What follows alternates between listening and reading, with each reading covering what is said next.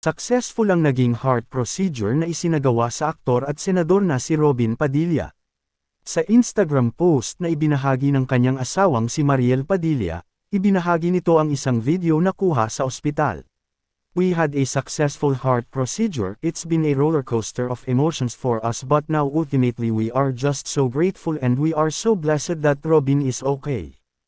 Thank you for your prayers, saad ni Mariel. Nagpasalamat rin ang TV host vlogger sa lahat ng mga doktor at iba pang medical professional sa pagtulong para maging maayos at matagumpay ang operasyon ng asawa.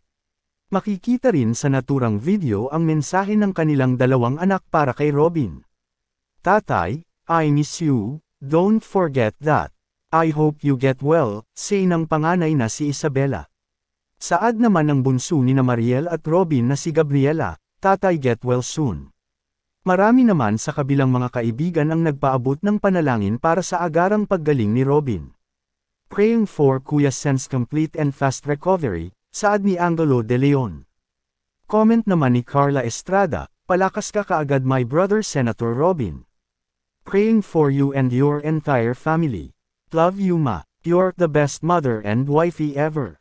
OMG, I had no idea. Pla get well soon. Praying for a fast recovery, say naman ni Claudine Barreto. Samantala, hindi naman nabanggit ni Mariel kung ano nga ba ang naging karamdaman ni Robin.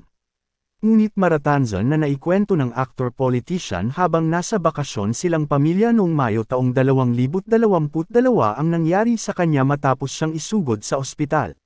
Wala akong kahit anong sakit pero bigla na lang ako nawala ng lakas sa tuhod ko habang naglalakad sa parke dahilan para kagyat ako umupo sa ilalim ng puno, lahad ni Robin.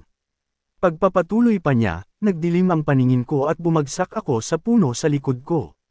Kilong hilo ako. Noon nga ay naabisuhan si Robin ng limang araw na gamutan para sa kanyang alta presyon.